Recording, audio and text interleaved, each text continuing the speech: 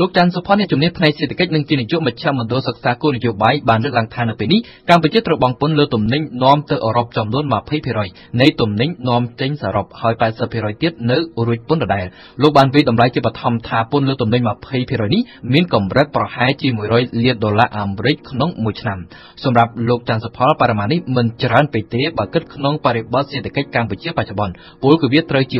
1.1%នៃការនាំចេញសម្ភារៈបំពាក់និងស្បែកជើងសរុប1.2%នៃការចំណាយថវិកាជាតិនិងត្រូវជា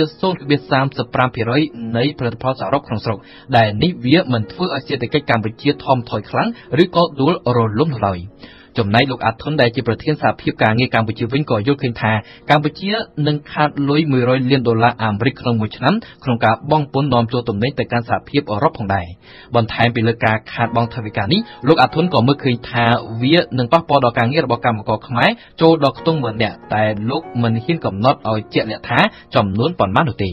តាមលោកអាធុនបច្ចុប្បន្នកម្ពុជាមានកម្មករកម្មការិនីជាង80ម៉ឺននាក់ដែលកំពុងបម្រើការងារនៅក្នុងរោងចក្រជាង1200រោងចក្រក្នុងនោះរោងចក្រផលិតសម្ភារបំពាក់នាំចេញទៅទីផ្សារសហភាពអឺរ៉ុបមានប្រមាណជា600រោងចក្រ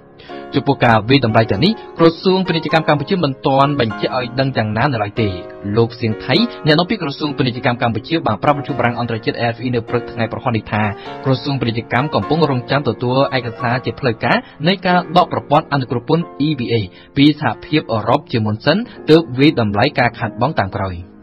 កាលពីថ្ងៃទី12ខែកុម្ភៈគណៈកម្មការអឺរ៉ុបបានសម្រេចដកការអនុគ្រោះពន្ធពីកម្ពុជាលើផលិតផលខ្លះក្នុងវិស័យកាត់ដេរនិងដេរស្បែកជើងនិងទាំងស្រុងលើផលិតផលធ្វើដំណើរនៅស្ករផលិតផលទាំងអស់នេះនាំចេញពីកម្ពុជាទៅអឺរ៉ុបក្នុងតម្លៃសរុបប្រមាណជាង1000លានដុល្លារអាមេរិកជារៀងរាល់ឆ្នាំចំពោះផលិតផលធ្វើដំណើរលោកអាធុនមិនអាចវិតម្លៃបានឡើយថានឹងអាចខាតបង់ថវិកានឹងការងារកម្មករចំនួនប៉ុន្មាននោះប៉ុន្តែលោកគូបញ្ជាក់ថារោងចក្របង្កើតផលិតផលធ្វើដំណើរមានប្រមាណ100រោងចក្រហើយនាំចេញក្នុងទំហំទឹកប្រាក់ប្រមាណជាង1000លានដុល្លារអាមេរិកតែការនាំចេញទៅកាន់ទីផ្សារអឺរ៉ុបមានចំនួនតិចជាងការនាំចេញទៅកាន់ទីផ្សារអាមេរិកជុំវិញបញ្ហានេះលោកហេងសួរអ្នកនាំពាក្យក្រសួងការងារកម្ពុជាមិនទាន់អាចសុំការបញ្ជាក់បាននៅឡើយទេ